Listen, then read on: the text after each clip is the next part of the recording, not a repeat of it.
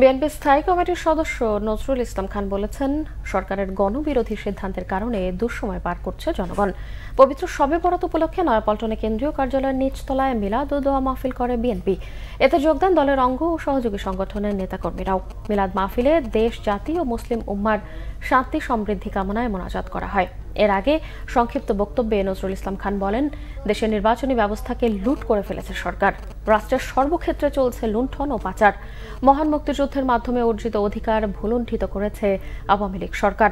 দুঃশাসন, অপশাসন, নিপীড়ন ও জুলুম থেকে যেন জনগণের মুক্তি মেলে, পবিত্র এই রজনীতে নেতাকর্মীদের সেই দোয়াই করার আহ্বান জানান তিনি।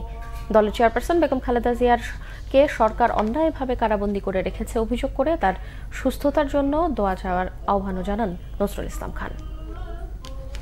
তাদের অপশাসনের কারণে আজ সাধারণ মানুষের জীবন দুর্বিষহ হয়ে গেছে।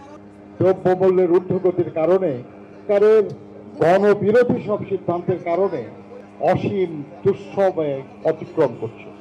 প্রায় প্রকাশ্যেই লুট করা হচ্ছে দেশের সম্পদ এবং পাচার করা হচ্ছে বিদেশে। পত্রপত্রিকায় ছাপা হচ্ছে, সোশ্যাল মিডিয়ায় প্রচারিত হচ্ছে, কারা করছে এসব, কিন্তু তারপরেও তাদের কোনো বিচার হচ্ছে না। এই অবস্থা থেকে মানুষ মুক্তি চায়।